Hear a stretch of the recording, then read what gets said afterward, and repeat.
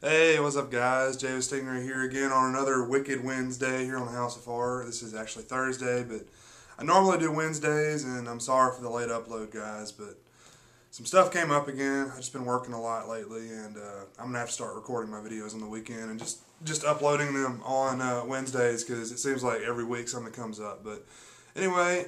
Sorry about the late upload once again, and I'm sorry I missed last week. But uh, today I'm reviewing a film called Squirm. This is another feature that stays in the same lines of uh, the creature feature films I've been doing lately. And I'm having a good time doing these. I, uh, you know, gonna try to start watching some stuff I haven't seen before pretty soon. But I have seen Squirm quite a few times before. This was from 1976 and it is directed by Jeff Lieberman. You probably remember uh, his name from Blue Sunshine and Just Before Dawn, and uh, I think Satan's Little Helper he also did, and those are three pretty decent films as well. But this is probably one of my favorite films of his. It actually is PG, so as you can imagine, there's not a lot of nudity, there's not a lot of gore. There is some little parts of gore, but if you're a big gore hound, I really wouldn't watch this one for that reason. But obviously, from the title, this is about worms. Even though from uh, the, the the creatures they use in the film, there, there's some centipedes thrown in there. There's a few other few other uh, you know insects and bugs thrown in the mix, but uh, they actually used uh, sea worms for the worms in the film. Sea worms, and there's some.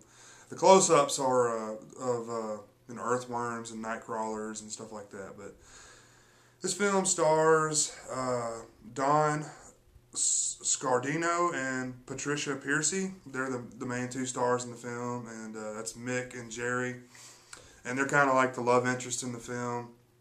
Geri is uh, this uh, young lady lives with her parents still, and she met Mick at a uh, some sort of an antique show, and he's coming to to Georgia. This is a fictional place in Georgia called Fly Creek. Uh, it's like a coastal city in uh, Georgia. He's coming there just to look at antiques and stuff. So it really just probably a bullshit reason. He just really wants to see this girl again. So you know you're kind of expecting them to have a romantic interest from the beginning. But what happens in this town is it's a uh, it's an electrical storm which causes all the earthworms to not only like rise up from the from the earth, but also to become uh, hungry for flesh. So they uh, they eat people, right?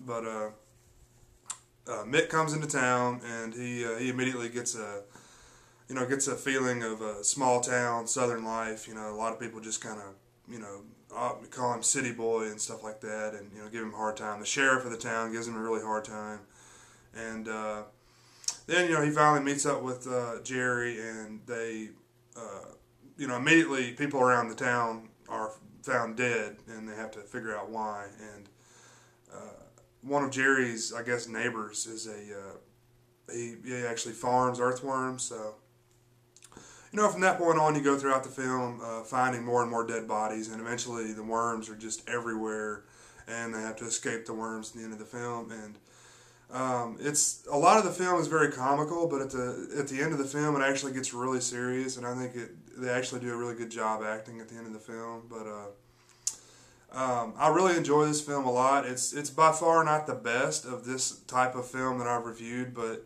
I think it is the most entertaining. I think the uh, it's it's actors you haven't really heard of before, but they do a really good job acting. Uh, I think the the writing is really good. Jeff Lieberman also did the writing on this film. He, he wrote and directed, and uh, I just think that the the the characters are just really. Uh, um, I don't know. They have a lot of energy, and I just really enjoy the the uh, you know the characterization and the way the uh, the characters play with each other.